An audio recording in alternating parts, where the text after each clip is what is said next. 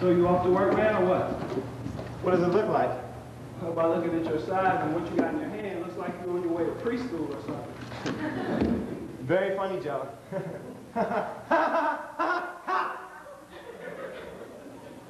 My mom gave me a lunchbox when I was 10, I still haven't had it. And how long have you had that suit you got on? Since you were about 12 or something? Uh, on the contrary, Joe, this is a brand new suit, the finest quality, and it says a lot. That's funny. I can't hear you saying nothing. Why you dress like Urkel every day, man? Okay, Joe, okay.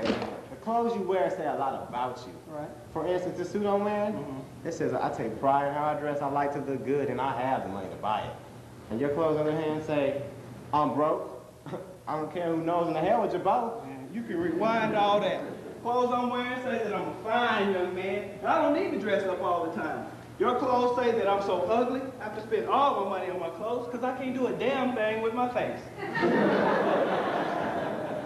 The women like how I dress, Joe. That's just it, man. They just like how you dress. No, no, they like me too.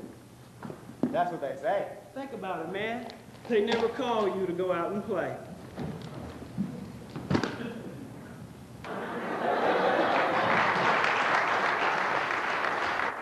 Listen, everybody, and listen good. Have you ever had a roommate? Well, maybe you should, and maybe you shouldn't. It all depends on you. But here's a few things that we go through. Here, pay this bill. I paid it last time. Well, clean up the place. that junk ain't mine. At least water the plants. my thumbs ain't green. I'm a suit and tie man. And I like jeans, but the fact remains, we get along good. I teach him how to act like a roommate should, and I do a lot of things that I know he hates, but nevertheless, we are still roommates. Roommates.